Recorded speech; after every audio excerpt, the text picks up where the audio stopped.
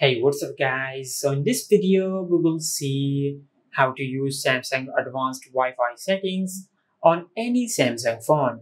Now to do that, just open settings, then go to connections. Now just tap on Wi-Fi, then tap on the three dots over here and select advanced settings. And from here you can find the advanced Wi-Fi settings on your smartphone. Now if you tap on manage networks, you can find all the saved Wi-Fi networks over here. And if you tap on Wi-Fi on off history, you will find the Wi-Fi on and off history over here.